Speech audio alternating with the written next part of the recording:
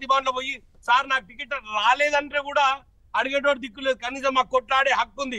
వాళ్ళకి అడిగే అడిగే దిక్కు కూడా లేదు. అంటే ఈ పరిస్థితులు అక్కడ ఉన్నప్పుడు వీళ్ళు ఏం ప్రజాస్వామ్యం గురించి మాట్లాడతారమ్మా? రచన ఒక అడ్వకేటు కాన్స్టిట్యూషన్ తెలిసిన ఆమె మాకంటే తెలియదు చదువుకోలేదు మేమంతా. మరి అన్ని తెలిసిన ఆమె కూడా అట్లా మాట్లాడితే ఎట్లా?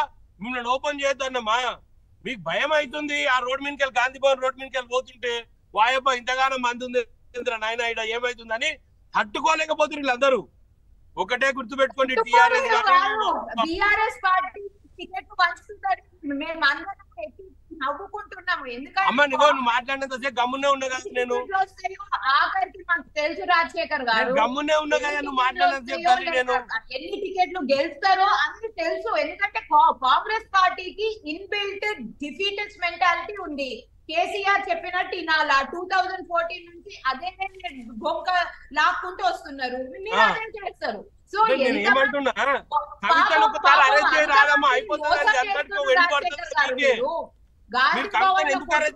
అడుగుతున్నా నేను. ఇచ్చు కూడా మాట్లాడలేకపోతున్నావు. మార్కులు కట్ అయితే అని నీకు. గాంధీ భవన్లో ఉన్న వాళ్ళు మీకు డిక్టేట్ చేసినట్టు మీ- కొత్త కదా. చేద్దామండి ప్లీజ్. రచన గారు ప్లీజ్ రాజశేఖర్ గారు కంప్లీట్ చేస్తారు. మీరు అడిగిన పాయింట్స్ అన్నిటికీ మీకు ఆన్సర్ కావాలి కదా. మీరు నేను వాళ్ళిద్దరు ఆన్సర్ రాదండి ప్లీజ్. ఆయన కంప్లీట్ చేయనిద్దాం ప్లీజ్ మాట్లాడే కవిత గురించి మన మార్కులు కట్ అవుతాయి మన టికెట్లు మళ్ళీ మనం సేల్ చేసుకోలేమని చెప్పినట్టుండు. పార్టీనే అయితే మన టూ థౌజండ్ ఎయిటీన్లో మేడం అడగండి అంత నిక్కచ్చు గల పార్టీ అంత సీరియస్ పార్టీ పార్టీ కేసీఆర్ తోలు బొమ్మలు కాని పార్టీ అయితే బొమ్మలు ఉన్నాయమ్మా చూసిన నేను. పన్నెండు బొమ్మలు అటే పోయినాయి కదా. పన్నెండు బొమ్మల నేను మాట్లాడుతున్నా. సిగ్గుపోతది. మీ చేతిలో నుంచి. దాని తర్వాత దాని తర్వాత ఆ, తగుదునమ్మా అని అంటూ ఎమ్మెల్సీ మొత్తం వాష్ అవుట్ ఎమ్మెల్సీ మొత్తం అందరు very good very good very good. మళ్ళా ఎమ్మెల్యేలు కూడా పోయి కార్లో కూర్చుండ్రు మీరు అదేగా పన్నెండు మంది గురించి నేను ముచ్చట చెప్తున్నాను వింటనే లేవు నువ్వు. చెప్పండి రాజశేఖర్ గారు చెప్పండి. పన్నెండు మంది గురించి ముచ్చట చెప్తాను కూడా నువ్వు రాజశేఖర్ గారు మీరు మాట్లాడండి. మేడం, నేను మేడం, రచన గారు డెమోక్రసీ ప్లీజ్ అండి గురించి ఒక టూ మినిట్స్ మాట్లాడారు మీరు నిన్న. హోల్డ్లో ఉండండి. ప్లీజ్ ఆయన రచన గారు రాజేశ్వర్ రచన రెడ్డి గారు మాట్లాడిండు. ప్లీజ్ రచన గారు ప్లీజ్ యా రాజశేఖర్ గారు చెప్పండి. రాజేశ్వర్ రెడ్డి నిన్న మాట్లాడుతుండే మేడం వాళ్ళ సీఎం అన్నాడంట.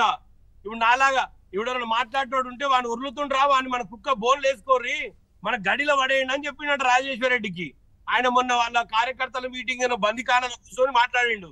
మాట్లాడిన వీడియో ఆ వీడియో బయటికి వచ్చింది అందరు మాట్లాడుతున్నారు పన్నెండుకు సార్ ఎనభై ఎనిమిది ఉన్నాయి కదా మనకి ఎందుకు సార్ అంటే లేదు లేదు వాళ్ళు అక్కడ వదులుతున్నారు ఆ కుక్కల్ని వేసుకోవాలి మనము అని మా పన్నెండు మందిని తీసుకున్నారు. నేను ఏమంటున్నంటే సీఎం గారికి ఆ గౌరవం ఉంది ఎమ్మెల్యేస్ మీద ఒక్కసారి ఆలోచించారు ఇది వాళ్ళ దగ్గర ఉన్న ప్రజాస్వామ్యం. ఆ పన్నెండు మంది కూడా ఆలోచన చేస్తున్నారు. ఏంది నాయన మేము ఈ బందికాడలో పడ్డాము ఈ సీఎం ఏంది ఇట్లా మాట్లాడుతుండు? ఈ రాజేశ్వర్ రెడ్డి ఏంది ఇట్లా మాట్లాడుతుండని వాళ్ళు చాలా ఆలోచనలు పడ్డారంట ఇప్పుడు. నేను ఏమంటున్నంటే మేడం ఒక్కసారి గాంధీ భవన్కి ఇద్దరిని తీసుకుపోతాను. నేనే నేనే మా ఆమె కారు పంపిస్తా మన మా కర్నే మా బ్రదరే అరవింద్ కూడా కారు పంపిస్తా. ఒక్కసారి ఆ చుట్టుపక్కలకు వచ్చిపోండి మీకు అర్థమవుతుంది ఏం నడుస్తుంది ఏం నడుస్తలేదు అనేది. అంటే ఇది ఇది ఇది మన డెమోక్రటిక్ రైట్ అంటారమ్మా. మేము ఓపెన్ పెట్టామమ్మా రండి. కాంగ్రెస్ పార్టీ పనిచేసిన వాళ్ళు ఉంటే అందరు అందరికి కంగనామాలు నడుస్తున్నాయి. కాంగ్రెస్ పార్టీ బొట్టు కూడా తెచ్చినాము బొట్టు కూడా తెచ్చినాం వాడికి ఏం టెన్షన్ వాడక నీకు కూడా పెడతాం. కూడా పెడతాం ఏం టెన్షన్ వాడక కానీ వేలు వేసుకొని వచ్చిన వాళ్ళమే అదే బొట్టు కూడా పెడతాం అందరికి పెడతామమ్మా. ఎందుకు టెన్షన్ పడతారు? మీ ఈ రాష్ట్రంలో మీ రెండు పార్టీలకు ఏ పార్టీ బి పార్టీ. పార్టీలకు బొట్టు పెట్టే టైం దగ్గర పడ్డది. ఏమి tension పడకుర్రి. Absolutely Congress will win this election ఆ భయం పట్టుకుంది మీ లోపల. స్పష్టంగా కనపడుతుంది మీ ఫేస్ లా. మీ ఫేస్లో గానీ అవతల అరవింద్ ఫేస్లో గానీ. ఎందుకంటే అరవింద్ మా సోదరుడే కాదంటలేను కానీ రచనమ్మ నీకు అన్ని తెలుసు. ఏదో అబద్ధం అబద్ధం మాట్లాడాలని అక్కేటట్లు మాట్లాడాలని ప్రయత్నం చేస్తున్నావు తప్ప you know very well what is happening in parties నేను నేను ఒకటే మేడం. కాంతి గారు నేను ఒకటి చెప్తానండి చెప్పండి. వెరీ క్లియర్లీ ఈ రోజు రాష్ట్రంలో ఈ- రోజు రాష్ట్రంలో. కాంగ్రెస్ పార్టీ ఖచ్చితంగా అధికారంలోకి వస్తది. ఎందుకు చెప్తున్నాను madam? There is enough anti incumbency on this government there is enough anti incumbency madam. మేము ఏమంటున్నాం అంటే కేసీఆర్ తోటి రోజు తెల్లన్నం తినా సరే కానీ ఒకరి మీద డిపెండెన్సీ లేని తెల్లన్నం పెట్టండి మాకు. రోజు మేము తెల్లన్నం తిన్నా సరే కానీ ఎవరి మీద డిపెండ్ అయి తెల్లన్నం పెట్టకండి.